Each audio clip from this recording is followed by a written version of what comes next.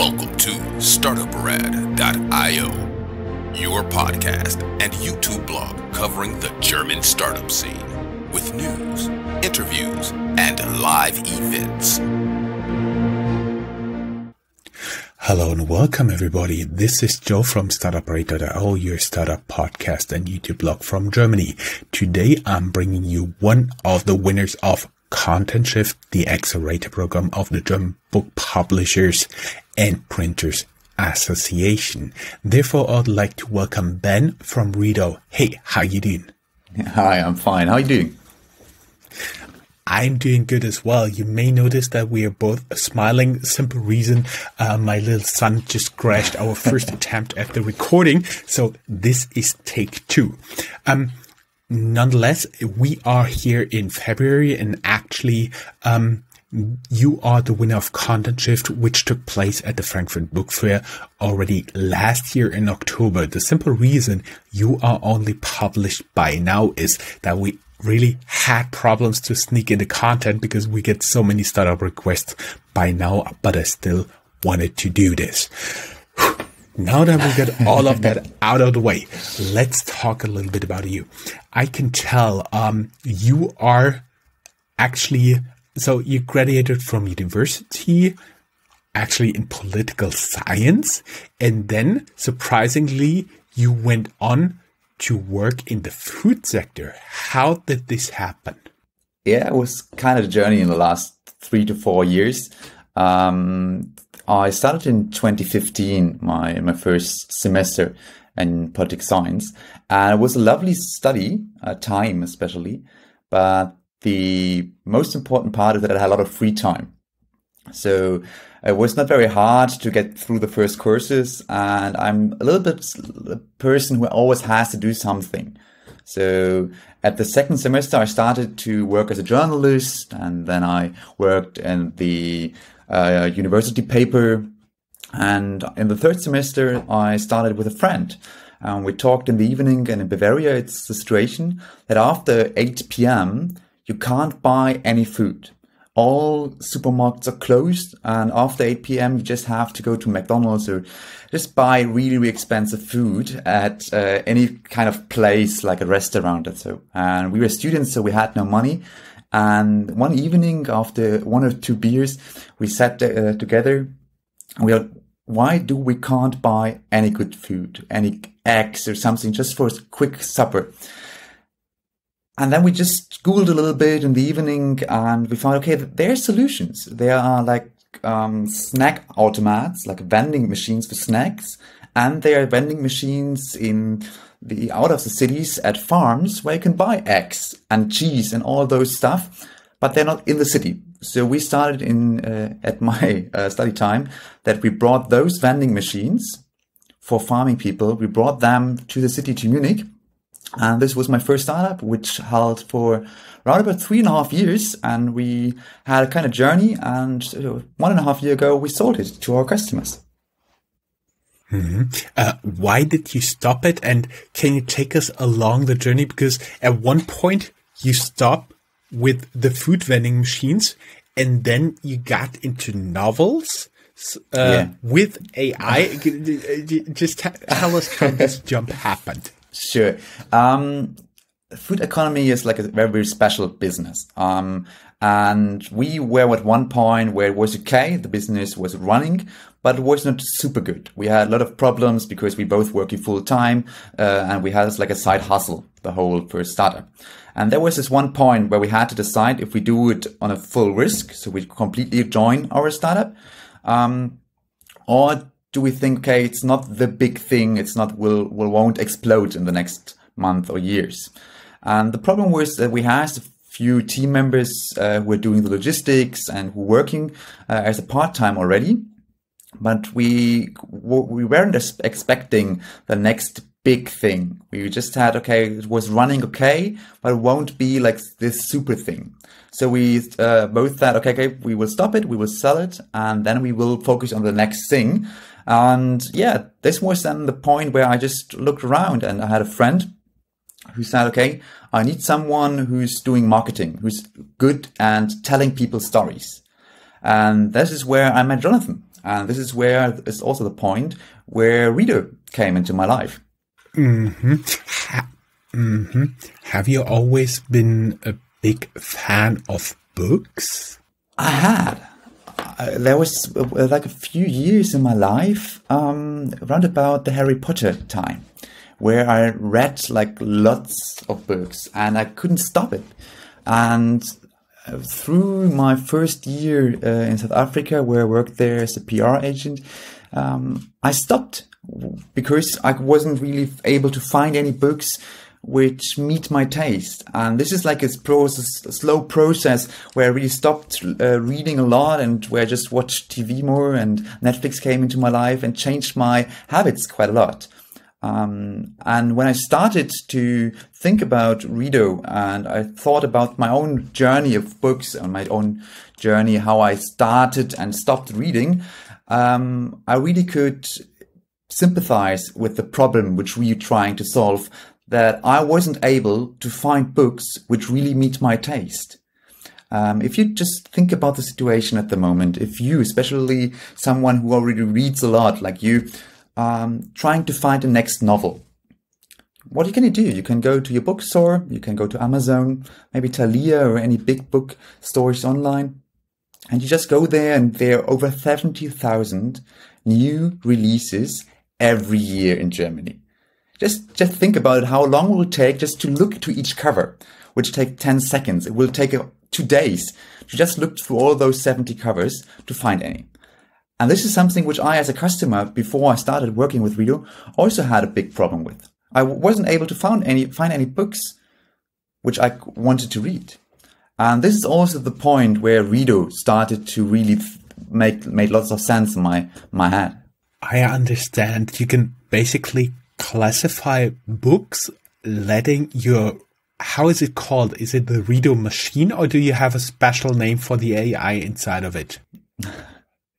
um, we, we call it emotion profile because we had this problem in mind that we we assumed and we thought in the first process before we had data that lots of people have the same problem like as we have that they wanted to read they wanted to read more but they're just not able to find any and then we said okay how uh, can we help people to find books which really meet their taste? And the first step was to think about what do i want to have out of a book? What is the, the thing the point why do i read?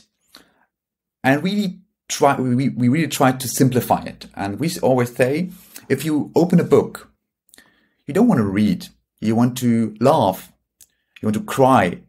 In the simple point you want to feel emotions and this is the point where we say okay that's this completely makes sense so we try to know which emotions are in which books and to do this to know which emotions are in which books, we developed an artificial intelligence to analyze those reader emotion profiles. Mm-hmm. I understand. So basically, the AI gets to read all the books. Just one question. Does it right now work only in German or does it also work in other languages?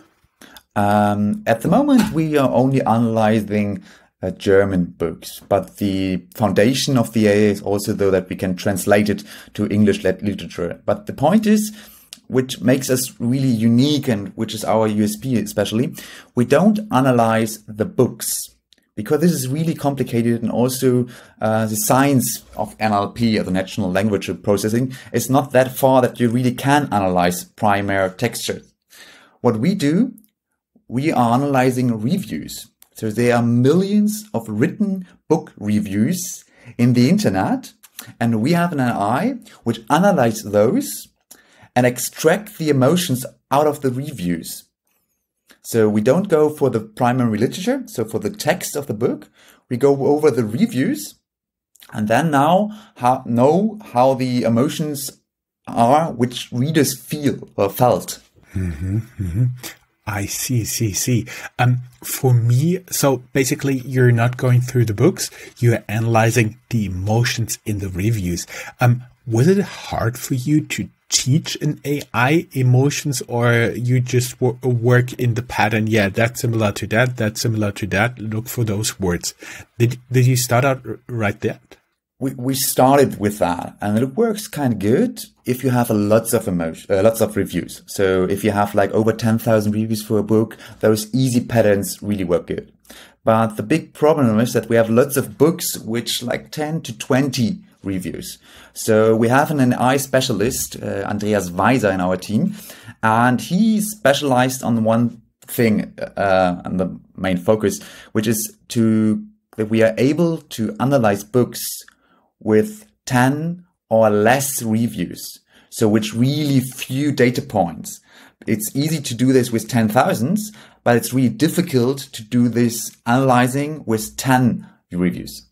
I was wondering when you're talking about 70,000 books and thousands of reviews. So there have to be a lot of people who give books reviews, but I'm wondering what's like the average number of a bestseller book like a Harry Potter you've been talking about of reviews out there in a very very small print uh, publication out there. I assume sometimes there are even books without any reviews.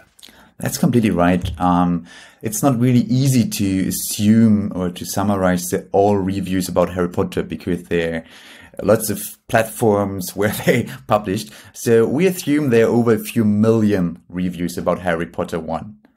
So there are lots of reviews out there. There are, of course, audio reviews, there are video reviews, there are newspaper reviews, and there are those written reviews from normal persons. Those are the categories of reviews. And we usually analyzing the written reviews of normal people, which are saying, okay, I felt uh, the book was for me very sad or very happy. This is the easy kind of things we can do. Um, but the other point is how many reviews are there for like a non-fictional book? If there is like a photography for beginners or something where it's no really need to do a review. Of course, this is like a challenge which we have, but at the moment we are focusing on novels. And there, at the novels which are sold once or twice, there are usually more than 10 reviews there. So we are easily uh, able to analyze them. And at the moment, we have over 500,000 books analyzed already. So there are lots of lots of books which are already in our database and we're still growing. Uh-huh. Be- before we get into how you recommend and how you classify the people, I would be curious. Um, do you actually assign a higher priority to reviews in something like um, uh, German newspapers like big print newspapers like FAZ, Süddeutsche, or magazines like Der Spiegel, who publish a bestseller list here in Germany that is equal to New York Times bestseller list. Is it that case, or is like any review equal? For us, any review is equal. We say each opinion, each people who say something about the book has the same amount of worth and value for us. So there's another question which you also ask kind of uh, together, the question about bestsellers. And if you asking uh, people like normal people who's not reading that much, what is a good book? They usually say, oh, a bestseller. And that makes complete sense in the first thinking because uh, those are the books which are bought the most. Okay, they have to be good. But if you imagine that you only have to listen or had to listen to the most sold song, would that meet your personal taste? I, I'm, I don't think that would be mine. So the personalization part of this is the most important for us. Bestseller lists are okay and they're good to know maybe, but they shouldn't really be the point for deciding your next novel. That your next novel should fit to your personal taste and should not be the, the most bought book.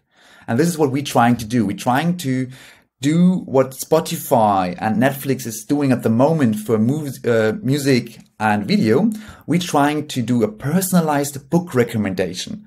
That we are really analyzing those books and we're recommending books that are matching your personal taste. This is this is a magic combination that we know which emotions are in the books, and we know which subjects, with themes in the books, and then we're analyzing your reading profile because in our reading uh, app and the Read-O app, you can enter your favorite books. And after this, we're analyzing your reading profile and to your reading profile, we're giving you personalized book recommendations. That would be something I would have to ask because you already took that oh, took that away from me. But admittedly, I was wondering if you just have like a lot of buckets where books and the people who like them fit in. Uh, for example, if you like Harry Potter, you also like da da da. Or is it more like, um, okay, you like Harry Potter, but you also like uh, zombie novels, zombie uh, apocalypse novels or something like this. And so that makes you a special case. So maybe you would also like that, or is it currently more on the if you like this, you would also like that logic? We have both logical built in our app. You can look for Harry Potter especially, and you find lookalike books which are matching emotionally and thematically um, for the one book. But if you're entering your favorite books, and this is a plural, so more than five books, then we're doing this special thing. So if you have Harry Potter, for example, and a zombie thriller, we're looking for, okay, you, you like zombies and you're looking for magical, um, stories. So we're trying to figure out is there a book out there which matching those both emotions and has a theme about zombies and magic. And maybe we'll find your book which is really a uh, yeah, summarize of those and which has star- uh, zombie elements and magic elements. So we completely building an own profile which has both elements. You will find this zombie wizard book for me. We hope so. If there is out there, we'll find it. Yes. okay, I see, see, see. Um, talking about publications, you said there are 70,000 books published each year. Is this just novels or also alone yeah, in Germany? Non-fiction every year in Germany. It's a, a combination uh, of non-fiction and fiction. Yes. And now the question, are also all those self-publishers in your list that can publish via this and that platform? Mostly. Um, it's always a question of data. So of course we try to get most books in, um, but some platforms don't share their data. So especially if you're writing as a, like a hobby, um, writer, then you may be publishing on Inkitt. And at the, at this moment, we don't cooperate with Inkitt or other platforms. Um, we have those Amazon books in our app, so you can find them, which was a kind of famous platform for authors um, and all books which are published through the VLB, the Verzeichnis lieferbarer Bücher, which is a German platform. Um, they are all in our books. The literal translation would be something: the Central Register of Deliverable deliverable books. that's, that's correct. Yeah. and and the company behind this catalog is also internationally active. So um, MVB is the company behind them, and um, I think they're known around the world. Mm-hmm, mm-hmm. I see. So let me take a little bit of a leap here. Everybody who would like to use Read O, they can go down here in the show notes. There'll be a link to our blog post where you, of course, can find all the links and show notes from this episode, including, of course, Read-O and your LinkedIn profile. Um, but I would be curious, how are you guys financed right now? Because I do assume it's nothing that generates sufficient revenue for a whole team yet. Uh, yes, at the moment we we um, we are funded by Business Angel, but maybe we take a few steps back. Um, there was this moment when Jonathan asked me if I want to join the team and I want to take ownership of the marketing and the sales department. And I said, yes, I want you. And they asked the same question. Okay, Johnny, how are you financed? How do you want to finance the startup? And we had very, very uh, good situation at the moment. We were founded through um, stipendium. I think it's scholarship. Yeah, it's um, the English word is scholarship from the German government called Exist. And it's really a great, great program because you have three people who can work full time for this scholarship. So they are fi- founded and financed by the scholarship and they concentrate on the building the startup. So for one year, we were completely financed with Johnny, me, and Andy, the K, uh, AI specialist. And then we started for one full year of 40 hours, 60 hours uh, a week. And we made a lot of things happen. And then we got a business angel in our um, team, two business angels who founded uh, the first round And at the moment, we have completely founded with this money. Um, but there's one thing which we till now wasn't discussing, weren't discussing. It's our B2B products because we found at the moment, okay, we have an app and we are really good at recommending books. But there are other players out of the market, uh, internationally and nationally, which are having book websites, bookshops, or any kind of book related products. And, at the, uh, and one and a half year ago, we started to promote our service as a white label service. So there are some publishers, there are some web shops which are using our recommendations for their shops. So if you're looking there for a book, you finding Harry Potter for especially, and then we recommend the lookalike books on their webpage.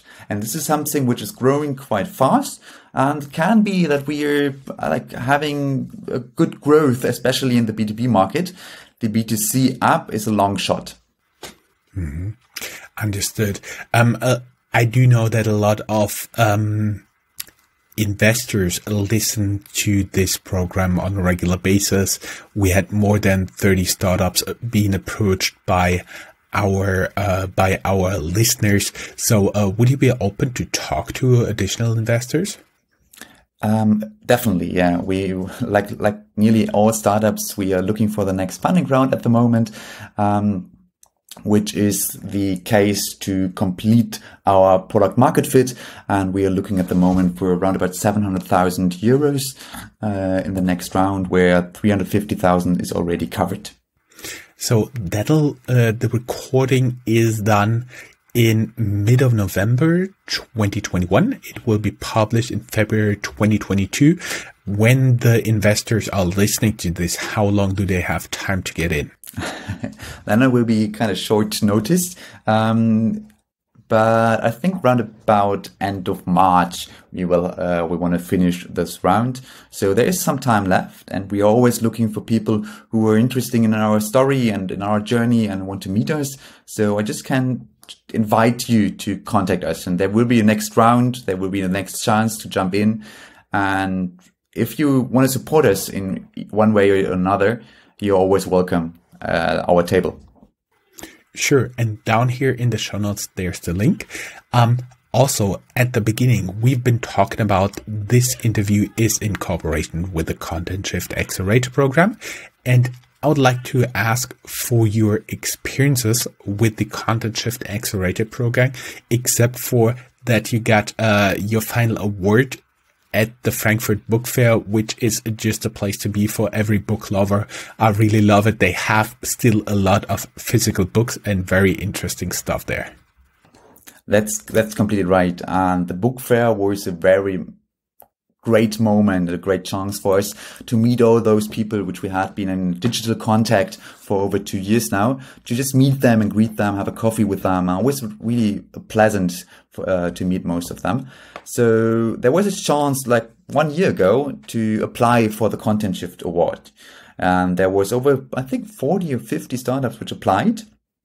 And the good thing for us, it is really based on the uh, digital uh, publishing theme. So it's about publishing, it's about innovation in the public publishing industry. So we had a very good fit with our business models. Um, so we want, uh, we awarded for the first 10 startups, the finalists, and then we uh, took the next step to the five last finalists. And then we had a few workshops, which really blowed our mind because we met at those workshops great people out of the whole industry, like uh, people from Thalia, um, from Lehmanns Media, from MVB. We just not only talked to any people, there was a leading board there. People who really know the industry, who really could help us with projects and could give us great introductions. So alone this workshop, those three days which we worked and meet and had workshops together, they were completely worth and they valued a lot for us. Mm-hmm. Just only three days workshop worth participating. Very good closing words. Only thing left for me to say is best of luck. Good luck with your funding round and let us know how you guys doing, especially when you expand into English language. We will. Thanks. It was a pleasure to be here. Totally my pleasure. Thanks. Bye bye. Bye.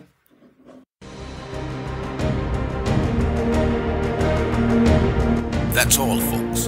Find more news, streams, www.startuprad.io. Remember, sharing is caring.